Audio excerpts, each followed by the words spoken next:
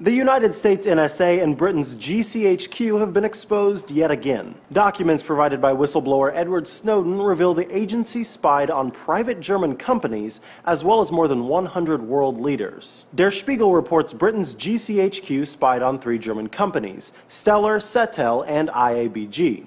Stellar is a teleport service provider. The company says it specializes in connecting America to the Middle East, Africa, and Asia.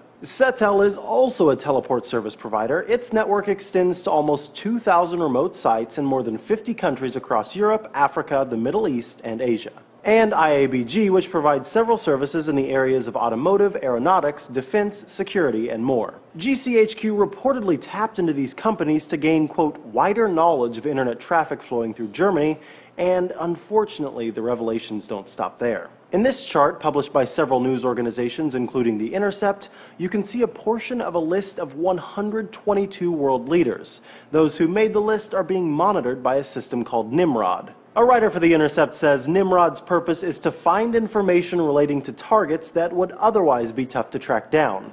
Nymrod sifts through secret reports based on intercepted communications, as well as full transcripts of faxes, phone calls, and communications collected from computer systems. And this news comes after tension formed between the U.S. and Germany due to revelations the U.S. was tapping German Chancellor Angela Merkel's phone calls. Despite the leaks, a spokeswoman for the National Security Council told The Intercept the Obama administration is not, in fact, monitoring Chancellor Merkel's communications.